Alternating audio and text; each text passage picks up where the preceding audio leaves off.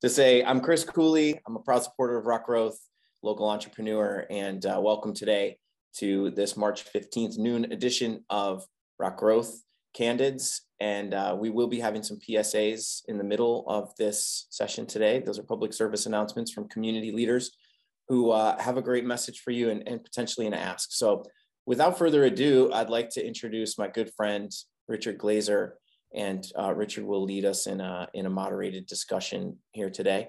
And uh, Richard, please start with the mission and take it away, my friend. Yeah, well, I'll start with recognizing today is Ides of March. Tomorrow is the second anniversary of the lockdown that went into place two years ago. And when we pivoted to virtual uh, formats for RocGrowth, and Thursday, St. Patty's Day. So I don't know, maybe it's an auspicious week, but um, I'm also noting the color behind me is Ukrainian blue. And, um, you know, I was reflecting this morning on the magnitude of this, of the situation and how the world just feels a little out of kilter. And I, I want to pause, just this is the pause. I don't need a moment of silence, but to extend our prayers and our thoughts to the people who are being challenged with the gross inhumanities in Eastern Europe. And on that score, we as people are capable of so many horrible things, but also we are also capable of wonderful, humane acts of kindness. And it's a delight to feature Simeon Banister, who's dedicated his life to that.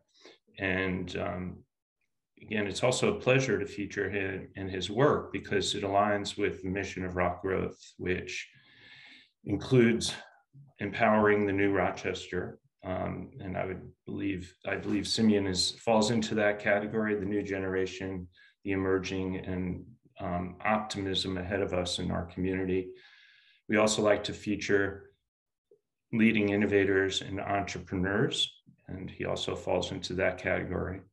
Um, and it's a little difficult right now in the Zoom format. We do have a chat, but we like to instigate creative collisions. So trying to get people to know each other who don't, but should, and go off and good, do good trouble. And finally, everything we do is informed by promoting greater equality of race, class, gender, and age. So, Simeon, welcome. Thank you. Thank you. I appreciate yeah. the opportunity to be with you. Yeah, I consider you a friend, so I know a little bit more about you than most, but this is a time when I like to ask our guests a little bit to share a little bit about their origin story. Sure. Um, I know you're a product of Rochester. Why don't why don't you share with the community? Well, again, thanks, Richard, for uh, for having me on. And it's funny because I'm looking across the various screens here, and when you ask about my origin story, at least part of it is on the screen. Um, it's folks that are part of this community that certainly contributed uh, to my upbringing, uh, both uh, here and then my return to Rochester. Um, and it really is uh, the story of a bit of an amalgamation. I'll tell you a couple of, of highlights, though. Uh, so I am Rochester through and through. Uh, I was born and raised here in Rochester. My dad was born and raised here in Rochester. My grandfather actually came here uh, in 1946 uh, after uh, his honorable discharge from military service in the Army. moved up here to Rochester looking for some opportunities and actually did some work with, um, was a labor foreman with, with Pike Construction. And uh, the work that uh, he did really created some um, opportunity uh, for my uh, dad, uh, and particularly in, uh, in, in his family. Um, we had a very fascinating story here in Rochester because when my grandfather moved here, he and my grandmother had a duplex that was on Tremont Street. And that duplex, they lived in half of it. And everybody from Culpeper, Virginia, where uh, he was born, uh, would come spend a little time in the duplex and then move out into Rochester. And so there's an important story, and I see a lot of friends on the call. I saw uh, my friend uh, Shane uh, Wiegand down here, who's been talking in the community through the Anti-Racist Curriculum Project about kind of this history of Rochester. That's my own uh, history. Um, fast forward a little bit, uh, I was born um, an 80s kid, and uh, and all that that means. and so uh, came up here in Rochester. Richard, a big part of my story is a sense of agency um, and optimism that things can change. And that was uh, in part fostered when I was about nine years old, uh, eight or nine years old. I was walking with my mother downtown. Um, and folks might remember when Sibley's wasn't just an economic development project, but it was an actual store.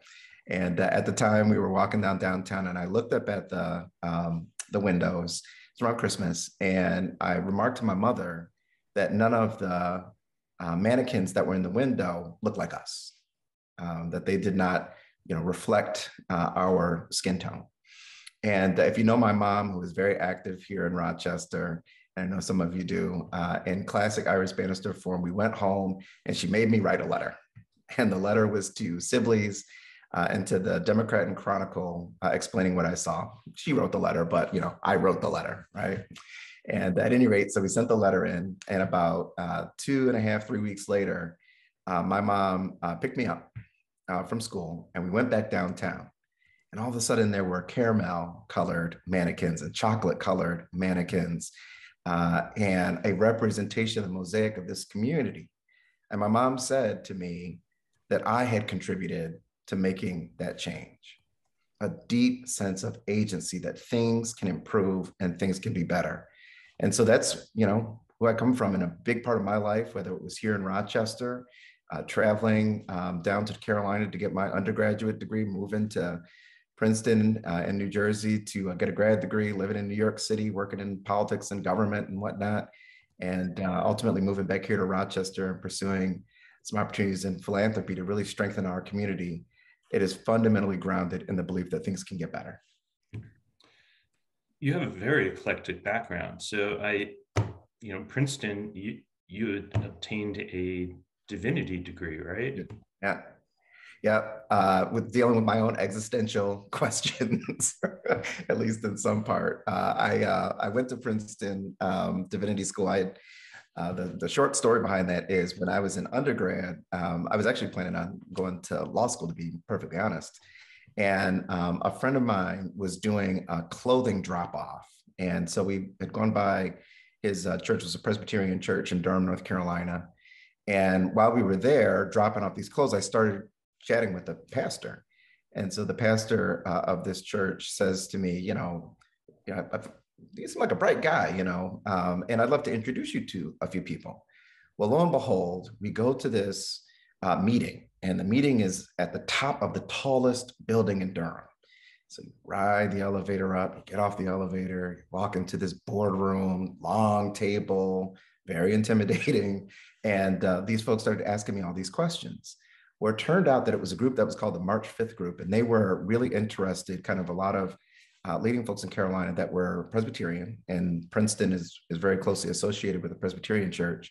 They were interested in trying to restock the uh, the the presbytery and the ministry, and uh, and so uh, they said you should go to seminary. And I said, okay, well, you know what, I'm going to go for a year and see what it's like and check it out, and then we'll go from there. And they said you can go three years, which is the typical term, or you can go ten minutes. It's up to you no strings attached. And uh, while I was there, I got this wonderful education that was in part seminary, but also um, was very philosophical. Um, and I had a chance to study with folks like Cornel West and uh, Eddie Glaude, who is on TV all the time now, which is hilarious, um, and others. So.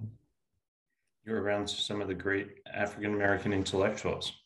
I did. I actually took a class that was called um, uh, African American Intellectuals 20th Century. And if I tell you this class was like crazy, um, some of the folks that came to visit, at one point, uh, Jay Z was in class, uh, and he definitely showed up not as like Jay Z, the you know uh, rapper, but he showed up as Sean Carter, like the guy who was also intimidated to be in this class with people asking him some really penetrating questions about his uh, artistry but uh, really, really shaped a, was a big part of my experiences and, and made a lot of re- wonderful relationships there too.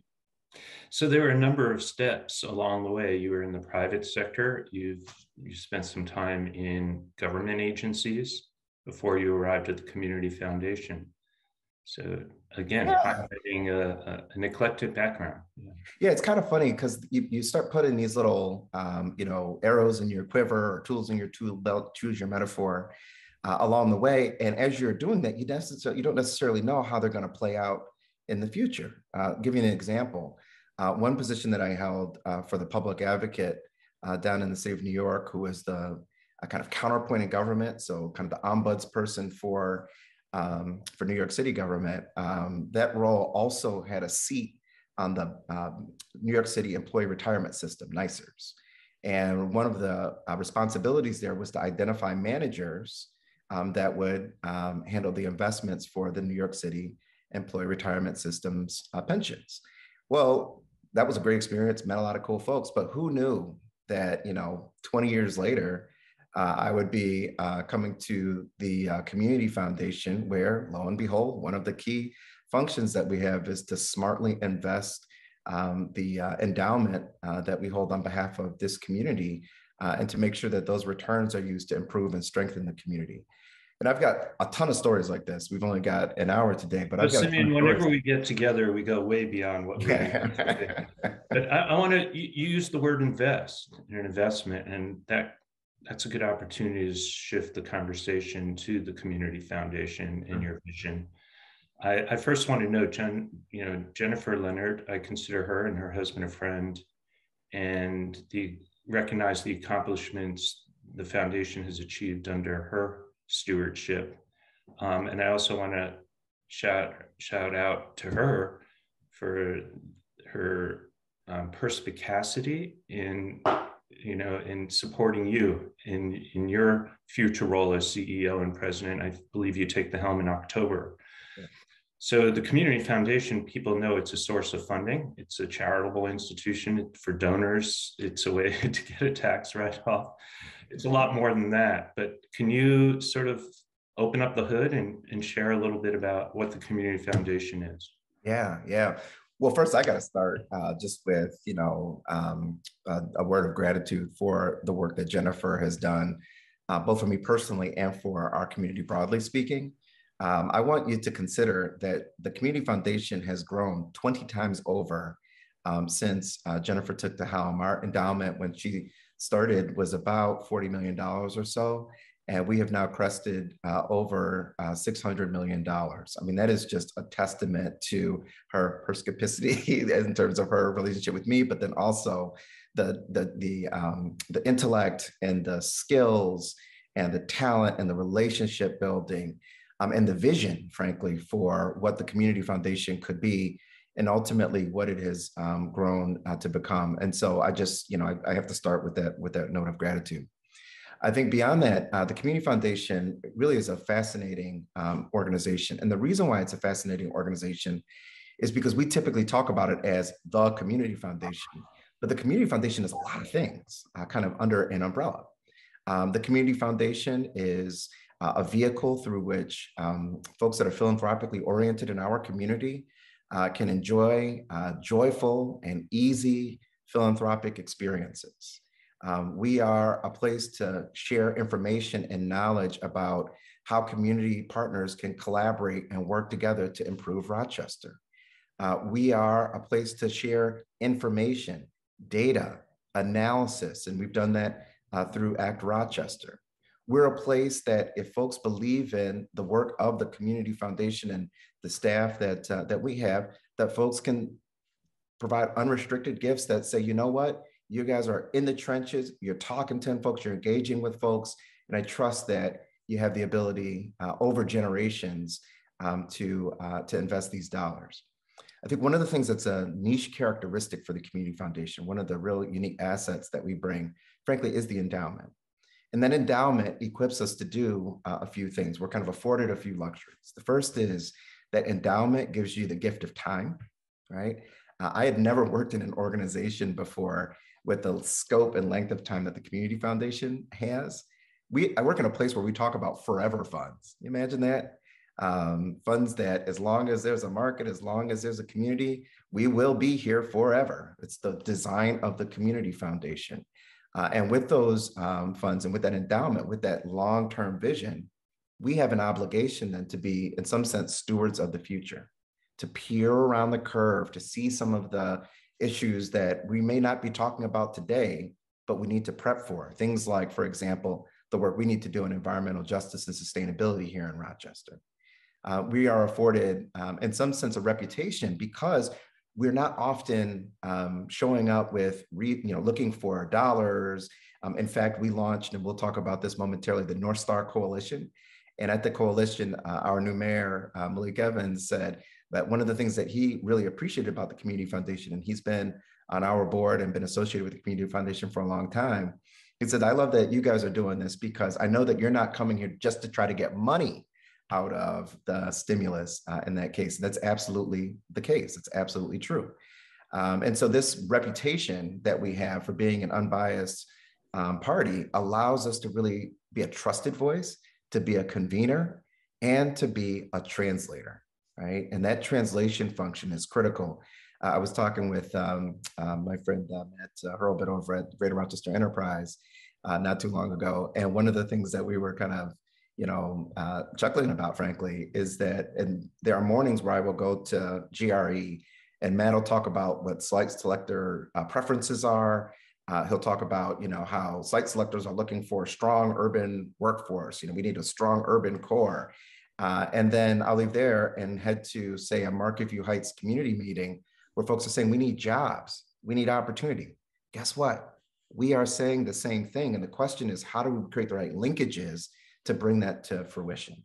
Um, and so I think we're really excited about that. The endowment really is an important asset for us, and it's an important asset for the broader community that allows us to play a really important function.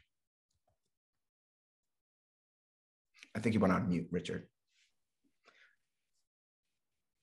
Thanks for highlighting that. My my dog was barking at the uh, Amazon delivery guys.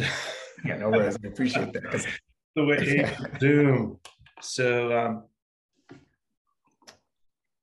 I consider you a student of history, and um, so am I, an amateur. Um, I don't think I can can go teach at one of the universities, but it's fascinating.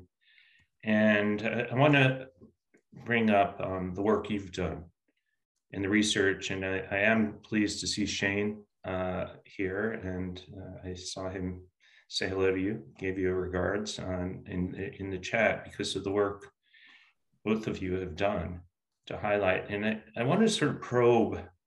We're not here to deliver a history lesson, but we can touch upon some elements.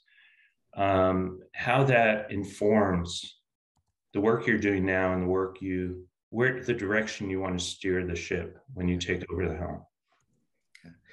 So I think what we have to appreciate, and, and history does uh, such a tremendous job of this, is that we've got to see the through lines, we've got to see the connections, we've got to be able to um, navigate ourselves between the macro, right, kind of what is happening broadly in context, and the micro, what we're working on on a day-to-day basis, and make much stronger connections, right? There's some fascinating things. Certainly, the, for example, today the geopolitical environment. You mentioned Ukraine at the outset. Uh, might feel like it's a half world away, but the implications um, for such a seismic event are very real. And of course, we're, many of us are feeling that uh, in Rochester today. So that's a big part of why I tend to think a lot about history um, for examples. Um, I think that there are a lot of breadcrumbs in history that lead us to some of the answers that we might um, discover today. I think in Rochester's history, um, the you know kind of framing here, at least from my perspective, is that uh, economic disparity, right, has been a prerequisite in a lot of ways for economic decline. And uh, we won't do a history lesson today, Richard, but I've got a lot of evidence to demonstrate that this is the case, right? That when you have too much homogeneity um, and leadership roles, um, that when you uh, don't have the kind of cauldron of ideation that you get when you have a diverse and inclusive community, that what you get is stayed um, and it misses important um, uh, moments, like, for example, the digital revolution, right? Uh, and so that economic disparity as a prerequisite for economic decline suggests to me then uh, that there is an economic opportunity for economic growth that's a function of economic parity or economic equity. Um, there's a fascinating study that just came out from the Brookings uh, Institute a couple of months back, uh, and it was, it was titled The Economic Gains from Economic Equity. And what they basically uh, argue in this study uh, is that if you, and this makes a lot of sense if you think about it, uh, if you think about talent, right, and I hope everybody on this call believes this, that talent is equitably distributed. Talent doesn't know race, it doesn't know neighborhood, it doesn't know, right? Talent is talent. It just is what it is, right? And so if we don't maximize the talent, particularly in communities where that have been neglected, that represents economic loss. And again, our history bears this out. Uh, and so if we really want to make gains as a community, if we want to see uh, economic growth, then we've got to be able to maximize all of the talent. We've got to allow folks to achieve their fullest human potential, or at least have the chance to do so. And we know that because of redlining and restrictive covenants, um, a whole lot of policy decisions, that that's created this very calcified structure in our community that we have to dismantle if we want to unlock economic growth. There are some people that say, hey, I'm doing okay. Feels great to me. Rochester's working out. And I would argue to those people that it could be so much better. And I know that that's trying to prove a counterfactual in some sense. Um, but the fact is that there is a real path forward for us. And I think that's what we want to certainly champion. And uh, the Community Foundation, we want to partner with others um, that we've got to see the connections here, Richard, right? We've got to see the connections. We can't get so myopic in the things that we're doing and the work that we have going that we can't see the connections that we make with others to bring about a future for our community that's much more prosperous. I often respond to people who might be, you know, accustomed to the way it is and ask them, where do their kids want to live? Yeah. If they're at that point of that juncture in their life after college or whatever, and you see what communities are, are draw for top talent. And, I just want to highlight um, uh, next week, the Community Design Center is featuring Andre Perry of the Brookings Institute, who is probably one of the co authors, if not of that report, others like it. He does research into um, you know, urban, um, the, the field of urban studies and discrimination. So, just Richard, if you don't mind, just about uh, Andre Perry.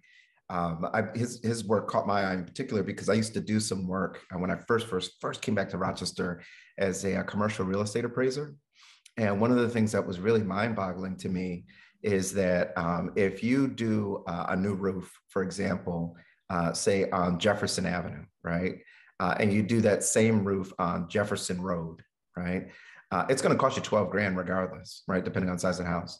Uh, the roof costs the same but the contributory value of that roof, right, um, in the city is about 63% on the value of the roof. In Pittsford, 109%, right? And so even though we're talking the same materials, the same amount of labor, there's a predisposition in the valuation of those homes. That's so much what uh, Andre's uh, work is about. That valuation, that, that difference um, is some of the margin that we see in terms of the outcomes for folks in our community. And that's ridiculous, right? And it's actually, um, again, I, I, will resist the temptation to go off into the weeds, uh, but there's a model within the appraisal field that really does um, uh, depend on the notion that people want to be close to where the action is, where they work, they want to spend dollars where they work. And what we've seen in Rochester is that structural racism historically has run counter to that model, right? It doesn't actually make a lot of economic sense to live like you know a bazillion miles away from where the action is. Uh, and so the model actually got turned on its head. And um, business started to chase um, folks uh, the residents that were moving out of the city. The prerequisite for a lot of that was was was fear. And that's unfortunate. But again you know we don't have to get stuck in the past. We can do something about it. And the real opportunity is to be aware of the past to acknowledge it and then to point our direction forward and work from data as opposed to emotions or perhaps what was fed to us as the history. So um, this is a moment where I want to shift to the North Star Coalition. Um, we were early supporters, RocGrowth and myself. I just find the, the name so appealing since it's a recognition of one of the greatest Americans who happened to call Rochester home much of his adult life. And now the airport is renamed after him. Um, and if we can find Paul, Paul Hippolyte, of leading with our values, uh, former Rochester resident who remains linked to the community through Simeon and, and the work we're about to discuss. So we can get Paul on the screen, that would be great. But before then, maybe Simeon, I, will want to introduce Paul. If let's see, maybe I know he was here earlier. He's I'm, here. I'm, I'm here. Yeah. Can we hear you? Just got to get him pinned. There he is. Now he's pinned. That's great. Good. Hi, Paul. We miss you up here. Thank so you're you. are you're you're somewhere in in New York City at the moment, correct? Yes. yes. So, so tell us about leading with our values. Yeah, so um, I started it in 2020. Um, it's a public affairs company um, committed to racial, economic, gender, and environmental justice. Um, the idea being that most of the companies that do work in this in this space um, are typically um, connected to one side of the aisle or the other, which doesn't say a lot about their uh, moral underpinnings and more just says to to which party or or uh, groups of people that they generally work with.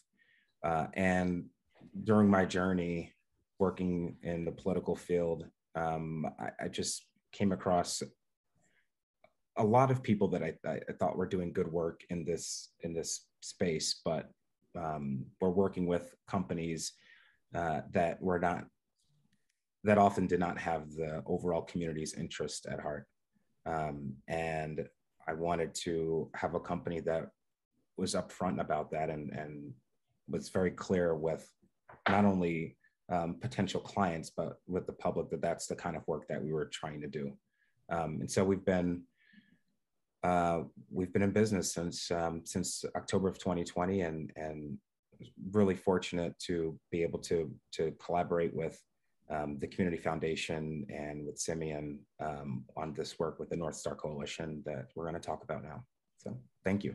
Well, obviously, the senator and our congressman uh, made announcements yesterday. Uh, the prior week, it just seems like money keeps raining on Rochester, and that's due to all the COVID largesse the government is sharing with us, and it filters down. So, please explain the genesis of the North Star Coalition and and its purpose.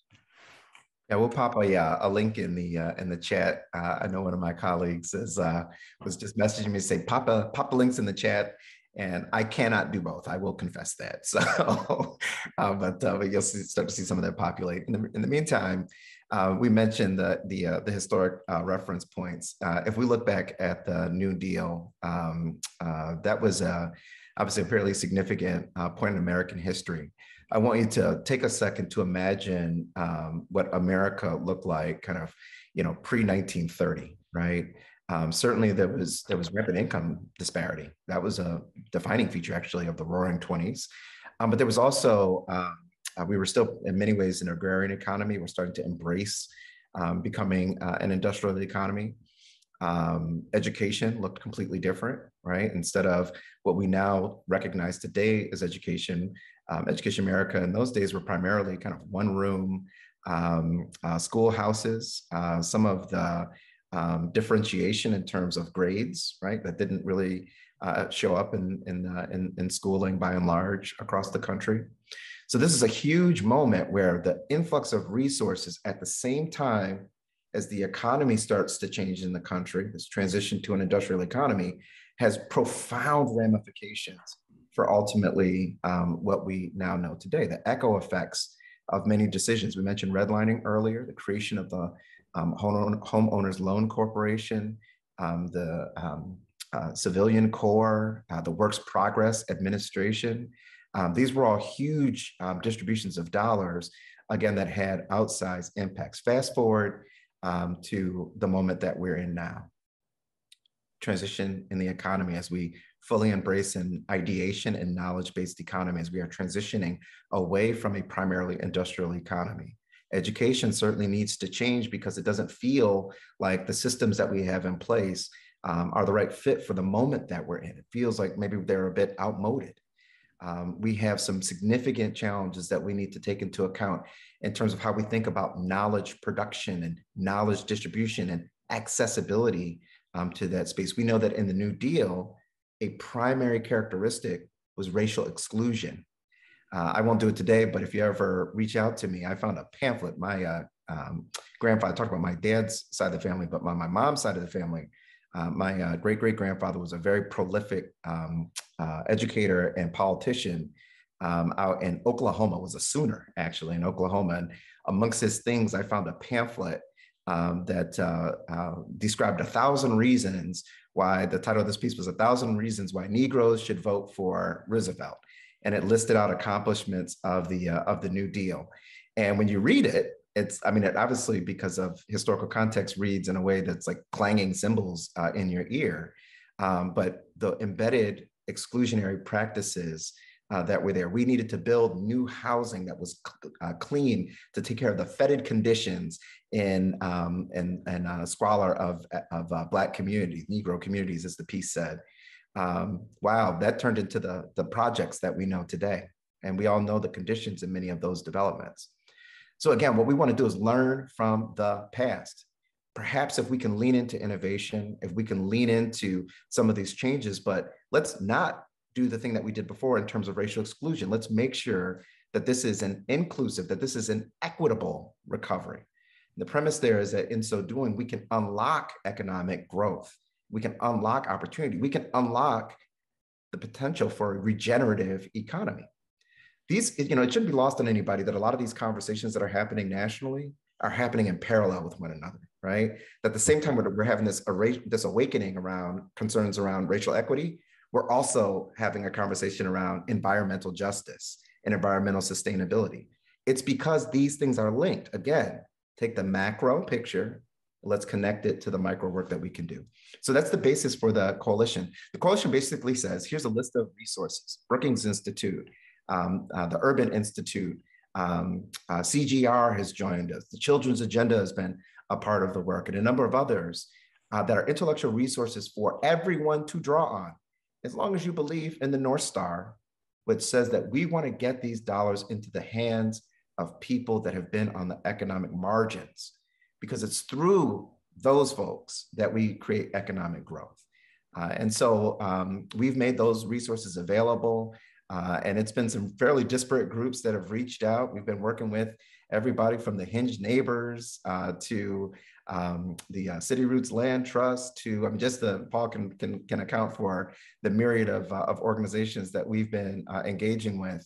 Um, and we're providing data information analysis so that we can make sure that we maximize these dollars and that we treat them as an asset. Last thing I'll say, Richard, on this is um, if we think back to the ARRA, that was the Obama stimulus, I was actually working in state government at that time. And I recall being up at like two o'clock in the morning trying to figure out what a what a uh, ARR what a what a uh, shovel ready project was. Everybody recall that language, shovel ready projects, and like nobody around the country like really knew what the criteria were for these shovel ready projects. I read a study that of that nearly trillion dollar piece of legislation that the country really only experienced about 300 billion dollars worth of actual economic benefit because so much of the money was clawed back by the federal government because people didn't use it. Let's not do that. You know let's make sure that we get as much of the resource that we can but then let's deploy it in the smartest ways possible. That's really what the coalition uh, is all about. so let's let's talk about you know putting the pedal to the metal or or actually i'm going to use a different auto metaphor. The rubber meets the road. Um, dwelling in the world of entrepreneurship and innovation business, sometimes the, the government seems far removed and abstract. And, and what are the tactics you're deploying to create the right connections, provide the right education and information, and actually um, fulfilling the goals of bringing this money in to our community and and doing it in a enlightened way. Yeah, so you know, some of the armchair uh, psychologists in the room may have read the book Nudge and some other uh, pieces that really, you know, cause us to think about uh, human behavior. Uh, one thing I know about human behavior, and I think uh, Paul and I, when we first started uh, putting our heads together on what this could look like, and I should note that this went through a bunch of different changes and iterations. Um, we worked with a number of our colleagues in the philanthropic sector coming out of the community crisis fund, right? Trying to figure out what can we do next. Um, and so we went through a number of iterations. One thing that we know about human behavior is that people do not like being told what to do. Uh, and so if we approach this with finger wagging and, you know, this is what needs to happen and, you know, we know the answer, um, that was certainly not going to be received. And oh, by the way, we don't quote know the answer. What we can do is get on a journey together um, so that we can learn together. Uh, and I think that's what you know we we've tried to offer here is not issuing polemics, but bringing people together around some shared information, some shared facts. Uh, let's leverage what people are learning all across the country. Uh, we were just in a conversation, Paul and I, with folks out of Memphis uh, and out of Chicago. Uh, here's something interesting. Memphis has already distributed the lion's share of their stimulus dollars. That interest, like how, why, right? Uh, there's some things that we're learning about whether their process was equitable or not. Um, part of, you know, they've made a trade-off of maybe some equity for efficiency, just to get the dollars out the door. There was some impositions that were made on that community by uh, Tennessee state government. But the point is that there's some fascinating things that are happening around the country and we want to leverage them. We also have really smart people in our community. I'm seeing uh, on my screen right now somebody like Jean DePrez, who uh, has done work all across the globe and that we might want to leverage. Um, and the folks at CDC, I see Melissa Marquez on my screen. I'm just picking up the people I'm seeing on the screen right now, right? And so we've got a broad coalition of folks. We need to leverage the knowledge, the experience, the talent, um, so that we can really um, leverage these dollars as far as we can, Richard. Um, and so that's what we're doing is creating the right convenings, bringing folks together. Um, and just if you want to get into the, into the tactical details, it really is just folks sit down with Urban, with Brookings, whomever. We do some scoping meetings to figure out what the interests are.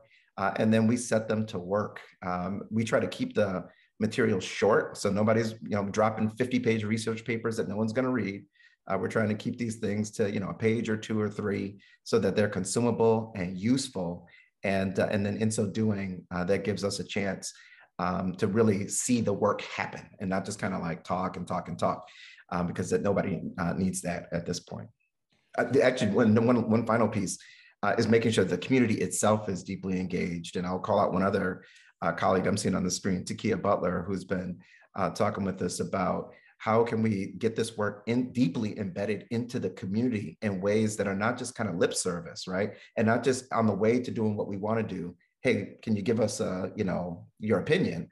But really figuring out ways that folks in the community itself can drive the action um, and that's certainly um, uh, an opportunity for us i think as uh, as, as a community. I, want to break for the um, announcements in a moment but my understanding is the community foundation is committed to it with various resources, including money for the long haul. This isn't just a one corner initiative. This is meant to continue for the foreseeable future, right? That's right. And I've got to give a tip of the cap to our board. Um, and uh, Tom Richards, former mayor, chairs our board. Uh, our board at the start of this said, you know what? The inclusive recovery and an equitable recovery is the big issue focus for the community foundation. Uh, and so uh, we said that certainly for the next 18 months, we're about six months into that, that that was going to be a primary focus uh, for our work, not just by ourselves, though. That's this is, this is important.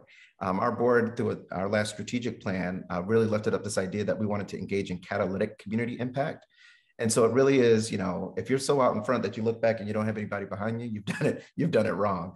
And uh, so that's why the coalition was really an important dimension here bringing people together in philanthropy and government and the private sector and bringing business to, to the table so that we actually can um, uh, achieve a, a, a, strong and robust recovery. Okay, let's pick up um, in about eight or so minutes. Please, everyone stick around. There's some interesting individuals that I'm featuring. Um, and maybe we'll talk more about how we can help and get engaged with this effort as well. So first, um, I know he's he may have some limited time. I hopefully Kayvon Travis of Food Concepts is still with us. I know he joined the call from Atlanta. Isn't that the yeah? I'm here. Kayvon. Um, I'm here. All right, let's let's see if Tom can get you spotlighted. Trying to find him. Trying yeah, to find right it. Get, I must. We have 75 individuals today. This is really great. So we got Kayvon. All right. Hey, Perfect. start talking and can, can you hear me, Tom? We can hear you. Perfect, mm-hmm. perfect. Well, firstly, I want to start by saying thank you, uh, Simon and Paul, for what you guys are offering. Uh, definitely informative.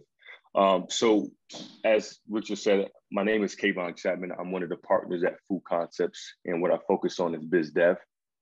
Um, but what we what we do is we have pivoted over to becoming a multicultural marketing agency.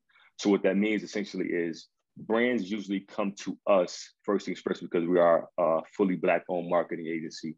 But secondly, so we can help them curate a message that resonates with the minority audiences. So that may look like us working with working building out digital campaigns, web web development, uh, social media campaigns that essentially just resonates with the minority audiences because they do they have a hard time reaching these demographics. So that's essentially what we do and what we have pivoted over to. That's great. Kayvon, can you put your contact info in the chat?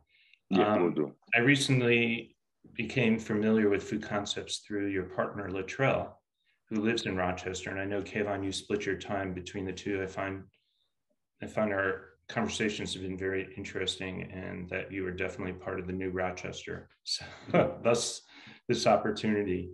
Um, moving along, um, Matt Drouin of Oak Grove Companies, um, a friend and all. Is Matt, are, take yourself off from mute if you don't mind so we can hear if you're still present? Yes, I am. All right. Whoa, nice building. I think that's the wild. Is that the Wilder or no? No, that's Canal Street. Well, anyway, here's your here's your minute. Go ahead. All right, sounds good. Um, yeah, my name is Matt Drouin with Oak Grove Development. Um, we are a real estate development company that specializes in uh, historic adaptive reuse projects with a focus. We've heavily invested in the Susan B. Anthony neighborhood. Um, and not a lot of people that live in Rochester and have lived in Rochester their entire lives even know where the Susan B. Anthony neighborhood is. Um, I've had an office over on King Street for about a few years. And when I say that I'm located in Susan B. Anthony, I said, Are you, oh, you're located over by Mount Hope? And I say, No, that's where she's buried, fool. um, so, uh, so this is our latest project on 53 Canal Street. Um, we've been, uh, it's a historic building uh, that is actually a former chewing gum factory. And so we've been having um, uh, monthly events called the Market on Canal to draw people into the neighborhood and experience the neighborhood, um, and also offer a uh, low barrier of uh, uh, entry for small business owners and entrepreneurs and artisans to showcase their works. And we take their um, their booth rentals essentially and pay a artist to come in to do a live uh, mini mural painting as well as a mu- musical artist. Uh, so it's definitely very multi uh, multi-sensory. Um, and our objective behind that is uh, is to you know get the buzz going about uh, the neighborhood and also the building. Um, we have a, a, tenant on the first floor that we secured space uh, for. It's a commercial bakery, and we're looking for tenants to take the second and third floor of the building um, and really looking to build a on a uh, Bauhaus concept. Um, a lot of developers will take large spaces and cut them up into little tiny spaces, and then you have these long corridors and you know creep you know creepy corridors and stuff like that.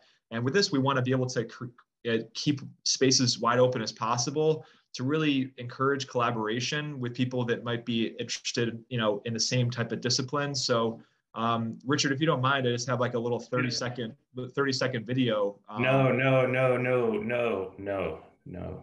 You could share a link, but are you, you we, we need to move on. But I want to, you, you, anyone who's connected with neighborhood building and in, in Rochester needs to know you. This is someone who's doing it as an entrepreneur with his own cap risk capital. And maybe we can help create greater collaboration and interfaces between the public sector and people like you. So thanks, Richard. All right. Um, I'm just going down my list. There's no logic to how, how I'm choosing you in what order. Uh, Brandon, Brandon Village. Hey, Richard. Thanks for having us. Go for it. You got your. Minute. I I am one of the founders of Curate, uh, along with Chris Lindstrom, who's also in this chat, and he's actually going to give you guys a bit of an overview of uh, what we're about. Uh, Chris. Yeah. Hey, everyone. Um, so we pivoted from our prior startup at the start of 2021, which we didn't feel was viable in a post-pandemic world. Um, so now Curate holds biweekly events that features a meal from a small locally owned restaurant that feeds two people. Each meal is a surprise to our customers until they pick it up from our central location at the historic German house in the South Wedge with our Pickno partner, Chris Crocky. We try to work with local people to help us grow and get us different footholds in the community. Um, we've held over 25 events with a focus on minority owned businesses, and we continue to grow through dedicated customers, um, media outreach from uh, Tiana Magnon. I don't know if everybody knows her. She has a great uh, service called Magnon Media, uh, helping people get exposure to the community, and uh, Sarah Corshane, who leads their social media efforts. Um, basically, our value proposition is our customers get to experience the wide variety of restaurants that Rochester has to offer with low effort on their part and no preconceived notions on what that cuisine might mean to them or their experience of it so far. Um, we provide background on the restaurant at Pickup. I've uh, experience doing restaurant reviews and podcasting. I'm gonna. I, I need we, um, really. I need. I'm really watching the clock. So I. I just want to let you know I've had some great Puerto Rican food, some great Malaysian food. Oh yeah. These are all important ingredients into creating the vibrant culture that attracts innovators to our community. So thank you. And I saw the link is in the in the chat.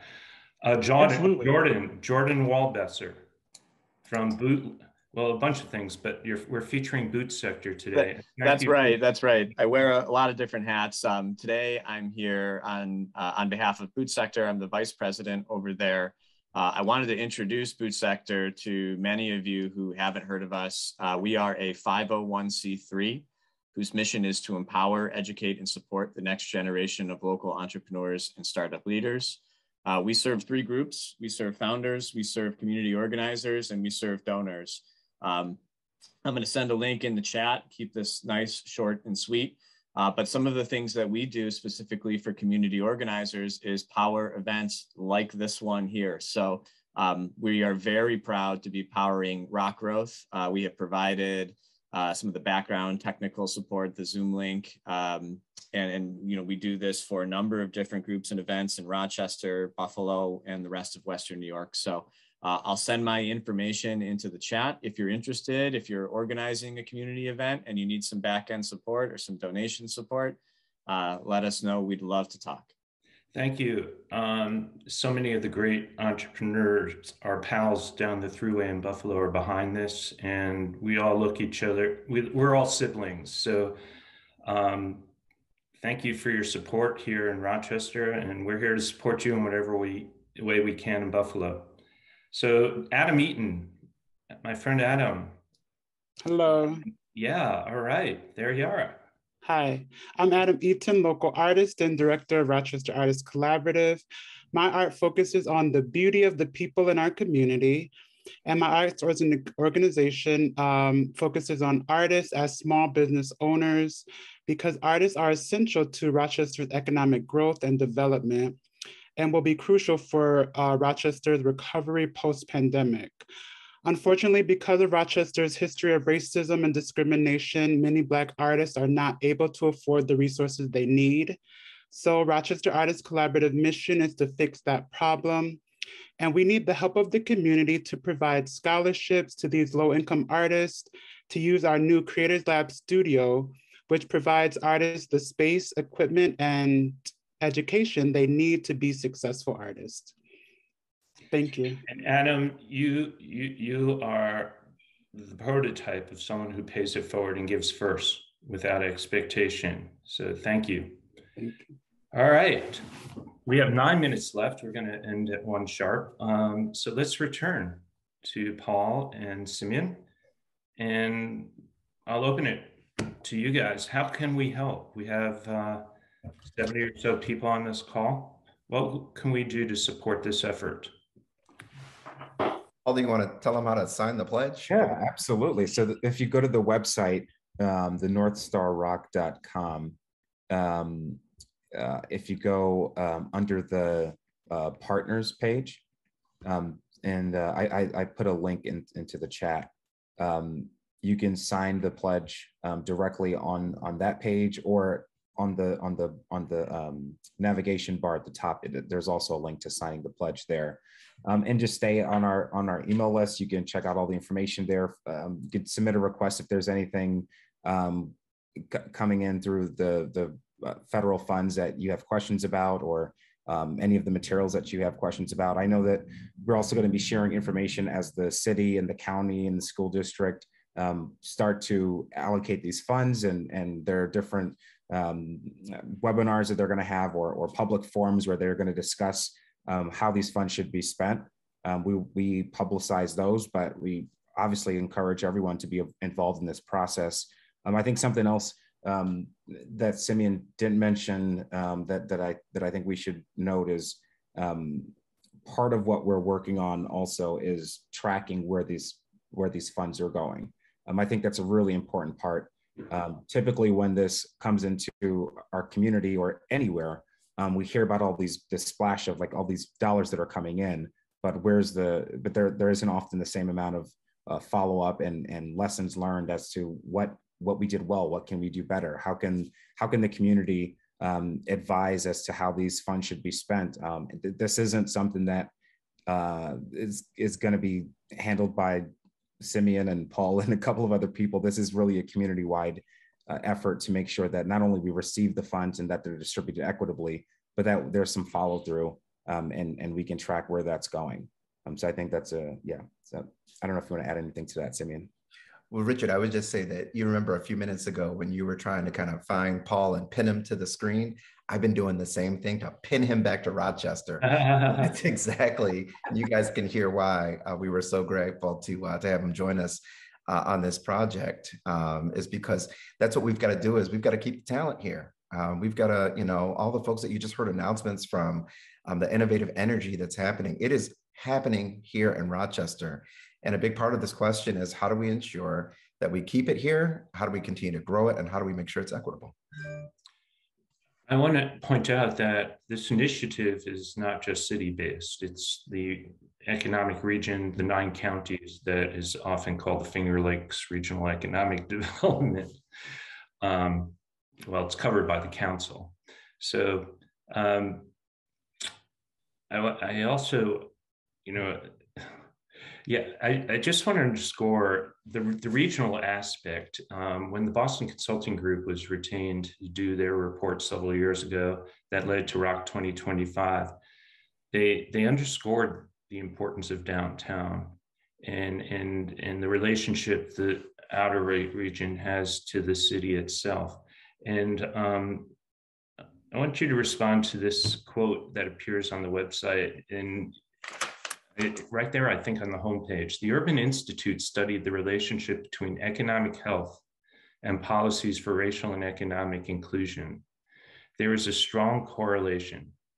270 cities they studied, Rochester was ranked 241.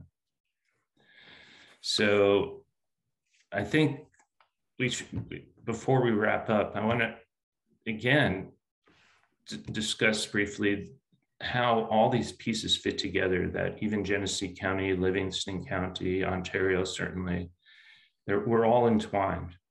Um, so um, I was, uh, I saw uh, a little earlier as I was kind of thumbing through uh, who else has uh, joined us today. Uh, my good buddy uh, and partner in good, Jen Cathy. Um, and she and I were, along with a group of other philanthropic partners, we're meeting every single day at the outset of the pandemic um, as we were working together to distribute um, funds for organizations um, through the Community Crisis Fund. And at the outset of that process, we knew that we needed to be thoughtful about crisis, but we also needed to plan for recovery. Now, take a step back. As we started to think about recovery, initially it was kind of you know the stuff that you might normally think of, um, you know, stabilizing organizations, and we know that that's an important activity. But then we came across this study. And as I was reading the study from Urban Institute that you reference, um, I read the study and said, I got to call these people and figure out why and what inclusive recovery, that was the title of that study. Uh, what are they talking about specifically? so we got on the phone with um, uh, Tina Stacy and the team that put that report together. And I said, geez, you know, do you guys have some more data evidence that helps to demonstrate um, this argument uh, about how there's a there's an opportunity to do really smart economic work by connecting it to equity? And they did. And that partnership then burgeoned into what you now know as the North Star Coalition. Richard, I think about it this way, right? If you think of a place like, say, Birmingham, Alabama, right? Uh, Birmingham, Alabama is not exactly uh, the uh, cultural mecca, right? It wasn't a, a sprawling metropolis. Um, but Birmingham is enjoying this resurgence. It's really fascinating because it's a function, I think, of convergence. On one hand, you've got all of the activity of the civil rights movement that we know about, right? And all the wonderful uh, and fascinating things that happen there. At the same time, that's a community that reoriented itself um, to embrace the changes in our economy, become a knowledge based economy. And in many ways, people describe Birmingham as the Boston of the South, right? They are, in many ways, a icon of the New South. The way I figure it is, at some point, we get to knock the rust off the Rust Belt. At some point, there are going to be cities that are the exemplars for this area that had been neglected, that had been left behind in a lot of ways by our economy to rejoin and to step to the forefront um, of our nation's economy. Folks got to remember, we were Silicon Valley before Silicon Valley. Xerox and Kodak and Bausch, these were the high tech companies of their day. And so there is no reason why we can't reclaim our position and our role if we look for that convergence. Let's find the equity opportunities and let's connect those with innovation. In fact, I would argue that the innovation that we need to embrace is equity and that in so doing, we set ourselves up for a more prosperous future. Right on. And this ties into your recognition and appreciation of how long term the Community Foundation approaches things with their forever funds. This isn't something that is going to change overnight. But with the investment, the South 50 years ago was economically destitute, was um, totally riven with racism, and now, where do young people want to live? Charlotte, Atlanta, Nashville, Birmingham. And um, anyway, I think we have a bright future ahead of us. I, I await your induction in October. I know it's a, it's it's brilliant that you all are are doing a one year transition. Um, maybe we will get Paul back, but if not, I'm glad you you remain connected in Rochester. So thank you all. Um, and I also want to thank out my team, our team. The RocGrowth team includes Josh Krager, the, the force behind the Rochester Open Coffee Club, Mike Thaney, our, our local um, startup grind chapter leader, um, Chris Cooley, who, who delivered the opening remarks, and of course, Tom Myers behind the scene, who, who makes all of this sort of this stuff work. Um, I don't believe I've omitted anyone. Um, hopefully, uh, all of you will feel engaged. Share it. We will be po um, posting the recording probably sometime within the next 24 hours on our website. Push out an email. Please share. It's also on podcast format. It's on all the major platforms. And um, we want to hear from you at info at RocGrowth and let us know, particularly um, we're, we're wondering the, the um, appetite for an in-person event. And we'd love to resume that perhaps when the weather warms up back in, in May or June. We have several ideas. So please stay tuned. Um, spread the word about rock growth and um, have a wonderful afternoon. Thank you.